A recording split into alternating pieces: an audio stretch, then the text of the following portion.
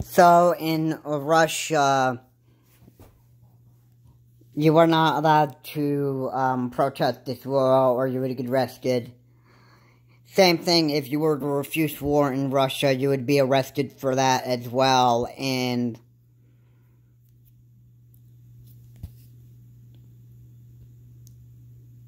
if you had a family, you wouldn't be there to be able to take care of them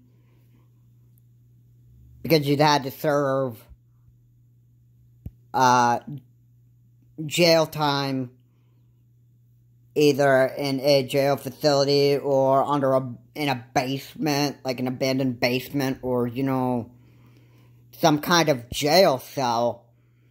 Um, you weren't there to be able to take care of your family, and you couldn't be released for from uh, being uh, held um, as a prisoner or a criminal, um, at least for at least maybe even a few years or so, and it's gotten pretty bad. There is continued drafts from Vladimir Putin to be drafting his own people to go to this war. Fresh new faces that um, are there to replace uh, dead Russian troops. And if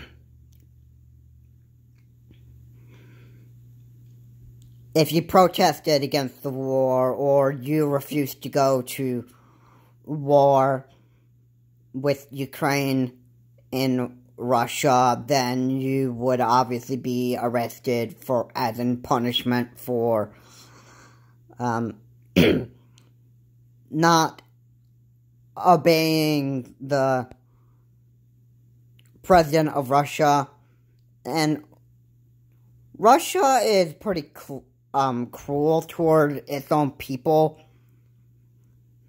So, there are two things that you could do. Now, this is this has happened since uh, Vladimir Putin has started the uh, drafting for 300,000 reservists to fill the um, dead Russian soldiers' shoes in the Ukraine war. And a lot of people fled Russia to escape being drafted by Putin. That was one of the things you could do. If you did not want to go to war, uh, one of your choices was to flee Russia and escape being dr drafted. And the other reason, the Russian people may have also realized this as well. That if you stayed in Russia and you were drafted, you would be arrested as well, and you that would just uh, you pretty much wouldn't have any freedom over there, and the Russian people are hating it. So um, anyway, before I get into the rest of the video, please comment, like, and subscribe to the channel Charles Morris, and let's get into the rest of it. So, um, nuclear threats, or there are more nuclear drills that are being performed by Russia that now the United States and NATO are even practicing more nuclear drills as well, also military drills. And the one who's keeping a close eye on the nuclear drills being performed by Russia is Vladimir Putin. And Vladimir Putin is really, he's so desperate to claim victory over Ukraine. The beginning of this war, was because Vladimir Putin wanted to take the land of Ukraine back. Uh, Ukraine is pretty much an independent country. And um, Vladimir Putin had started this war in an effort to take, try to take the land back. And he hasn't had much success on the battleground. Most of his troops have been wiped out by the Ukrainian army. And Vladimir Putin wants to try to step up his game and try to throw in newly untrained Russian troops into the fight and also using Iranian drones and blowing up infrastructure with um, nuclear missiles. And Vladimir Putin is becoming a much dangerous war criminal as time goes on.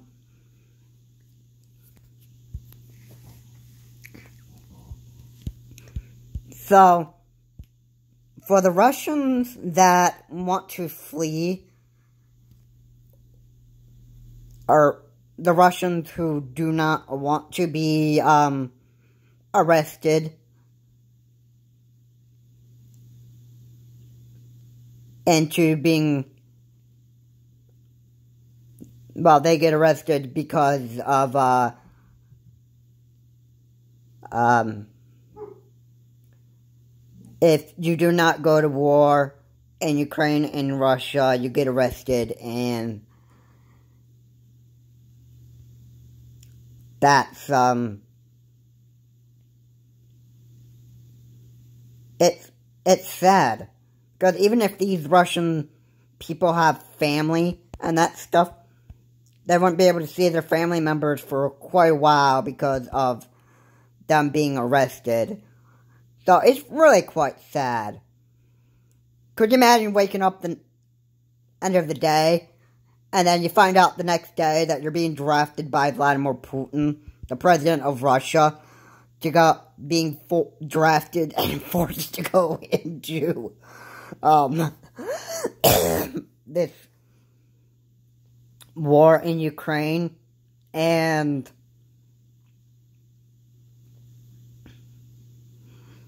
if you refused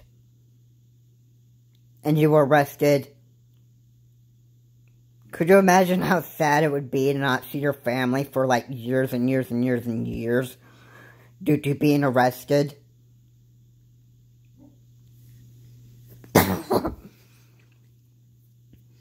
Ultimately, it's very, very, very scary.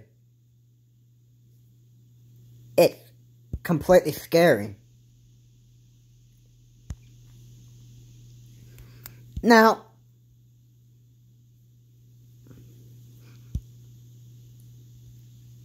the, there is video evidence that's uploaded by CNN, and it's footage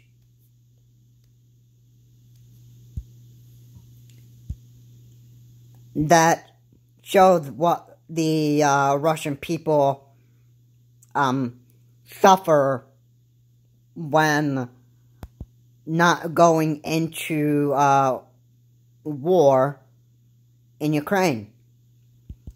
And it's it's quite um disturbing to watch, but I got I, I want to be honest. Uh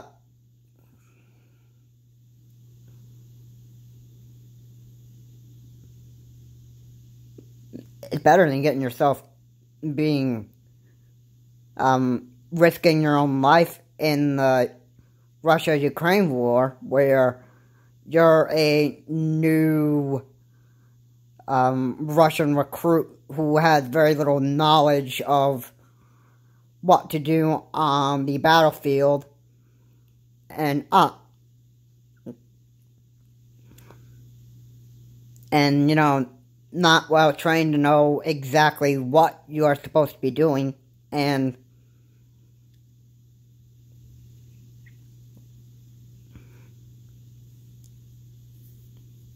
it's better it's better that you were back in Russia being arrested because you didn't go to war. And on the bright side, you wouldn't be um, you wouldn't be risking your life. But at the same time, if the war in Ukraine never ended and that stuff, uh, the rest of that time that you serve your sentence or time of being held criminal in a jail-like cell after you serve those amount of years. Um, when the war is not at end, the government can look on you. Hey, you're out of jail. Let's let's get you ready to go into war now. If you refuse again, then you'll be taken right back to your um then Russia would have the right to arrest you again if you were in Russia and you refused war. And the number of times that you refused war in uh, Russia, you just get like arrested all over again because you're refusing to uh, go to war. And it's quite sad because then you wouldn't be able to see your family for like the rest of your life almost. The depending on how long this war gone on. And it'd be just so sad. I mean, honestly, I would not appreciate it, but, you know, in the United States, um, there's freedom. They could choose to go to war.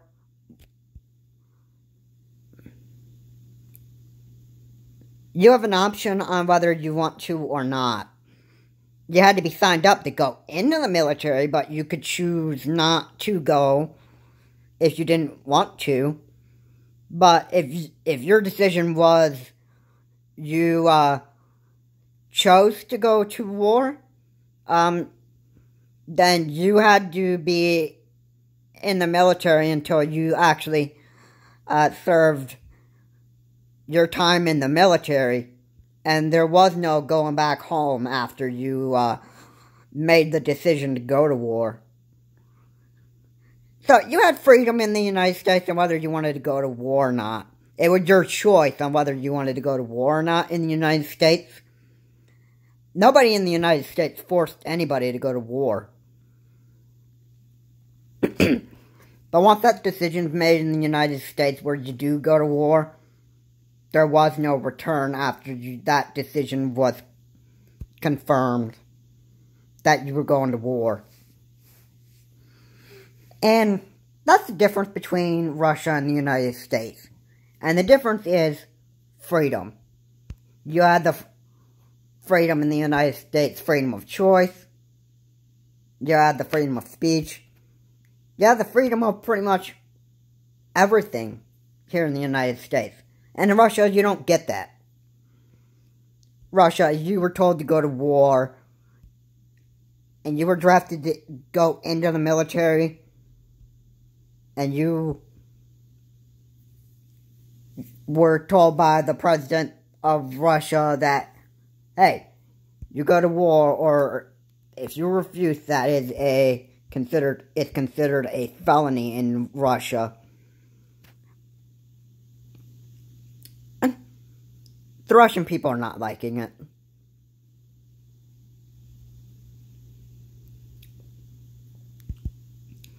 And that's the difference between between Russia and the United States.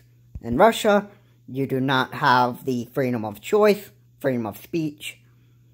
And here in the United States, you had the freedom of choice and freedom of speech.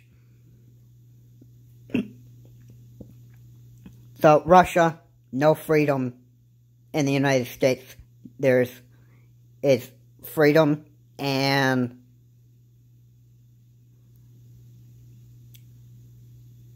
it's sad how the Russian people have to continually uh, deal with being drafted by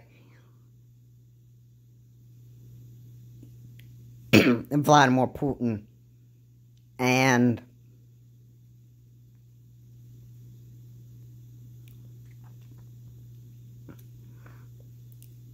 it's it's sad that the Russian people just don't really have any freedom on whether they want to go to war or not. So the best thing that they could actually do is flee Russia and actually they know since they obviously would say no to war and they know that they would get arrested for refusing to accept going to war, even when the president of Russia is forcing you to go to war. Um, the best thing that they could obviously do at this point is actually flee Russia just to escape being arrested when they get drafted to go in the military. And you also have this benefit too. The Russians could flee the country of Russia with their family, their children, even if if they have any, and they can continue to uh, be around their family and not have to worry about, you know, um, having to uh, be forced to go to war when out, being outside of Russian territory. And I strongly suggest that the Russian people actually flee the country of Russia. Because I just want to put this out. The viewing, the view of, uh, the view of family is more important than war. Yeah, family actually comes first than war. So, um, just so just so, uh,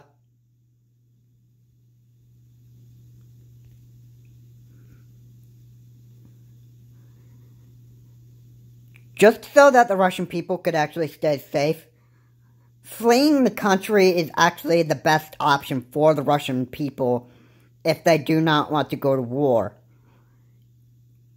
And prevent, you know, getting arrested for a stupid felony like, you know, being forced to go to war by the, uh, by Russian Pre President Vladimir Putin.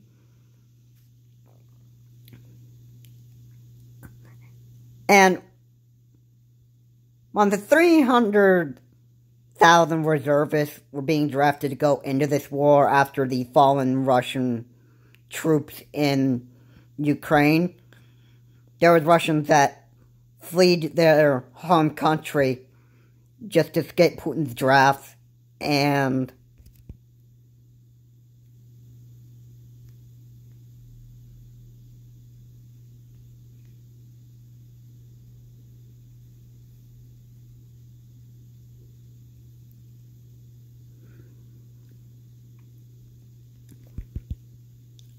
after leaving their home country of Russia.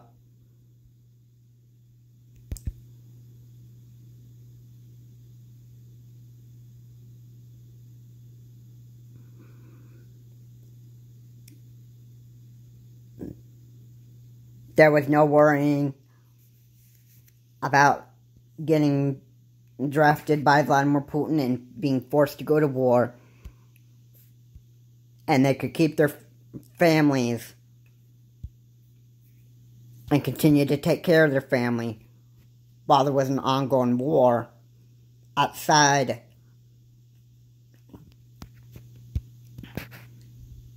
Even while the war in Ukraine was still going on, they could continue to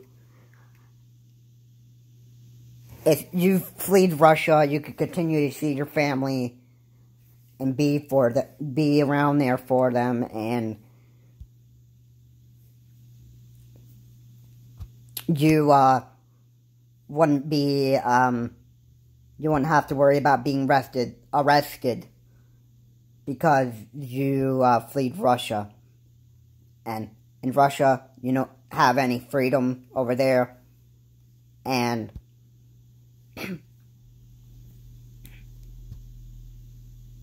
if you were outside of Russia and you did not want to go into this war, you would have been safe in other places other than Russia. And that would be a, that would be a benefit for the Russians for the Russian people who did not want to go to war and for the Russian people that didn't want to spend their time being in jail or some contained jail cell and miss out on taking care of their family. So the big benefit that the Russian people have right now is escaping Russia with their families even while these drafts continue to come in from the president of Russia, the best thing that the Russian people can do right now is flee their country with their families and prevent from being arrested and from being forced to go into this war in Ukraine. This is Charles Morris. Have a good day. I will see you on my next video. And, you know,